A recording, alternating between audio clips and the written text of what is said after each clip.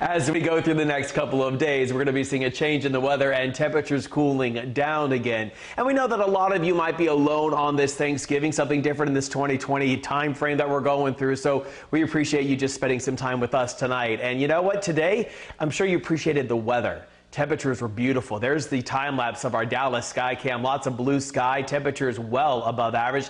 10 degrees above average for today with actually 74 is the high, 12 degrees above average in some spots. So we definitely were very warm today compared to where we're supposed to be this time of the year. And take a look at the Thanksgiving days as we've gone through the past. Last year was 49 degrees and raining on Thanksgiving Day. So we'll take sunshine and warmer temperatures over that. You can see from about 2015 to 2018 temperatures above average. It was cold again back in 2013. But the cool down is on the way. It's knocking on our door. The satellite and radar shows that we do have cloud cover down to our south, and most of tomorrow is going to be dry, but we do have a cold front on the way. We're still sitting in the mid 50s right now at DFW with an east wind at 3.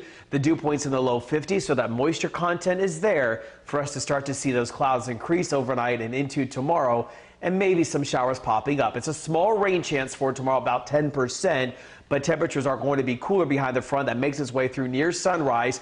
We'll be in the low 60s for tomorrow afternoon. And then from the southwest to the north, we start to see that rain spread in on Saturday. And the heaviest rain is going to be on Saturday night. We have those uh, temperatures only into the upper 40s as we go through Saturday afternoon. So it's going to be a cool down on the way for us. How much rain are we talking about? Maybe in some spots approaching two inches of rain.